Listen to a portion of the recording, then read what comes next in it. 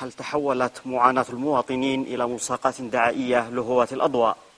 سؤال تداوله محللون عقب انتهاء لقاء موسع لمتضرر مواجهة حي الحصبة بين قوات الجيش والمجامع الميليشياوية في المراحل الأولى من الأزمة السياسية التي شهدتها اليمن مطلع العام 2011 آه، لم يتم التعويض من آه، آه، من قبل وزارة المالية التي قامت بوعدنا على أن اليوم سوف يتم تدشين بدء عملية الصرف ولكنها كذبة من كذبات صخر الوجه.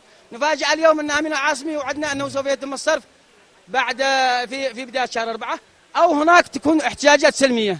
نحن نطالب ببسط نفوذ الأمن قبل قبل بدء عملية الصرف والتعويضات لأنها تعويضات كذب في كذب. نحن يائسين من التعويضات. نطالب بسط نفوذ الأمن خاصة عبر جوار وزارة الداخلية. اللقاء الذي عقد بحضور أمين العاصمة كشف في جزء من صورة جديدة من صور الاستثمار الدعائي الرسمي لقضايا المواطن.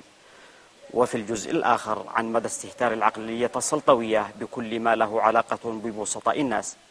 سيما وأن اللقاء انتهى من دون تحديد آلية واضحة أو جدول زمني لتعويض خمسة آلاف أسرة تضررت منازلها في خضم المواجهات. وهي العماير حقنا فارغة. فارغة مدمرة خراب كلها خراب. وتعتبر مصدرنا الوحيد. مصدرنا للدخل الوحيد. إحنا ما مش معنا تجارة. عبارة عن إيجارات فقط. بدون. من ثلاث سنوات وإحنا الحين مشردين في الجلاف ساكنين مستأجرين إيجار. بدل ما كنت صاحب ملك الآن مستأجر.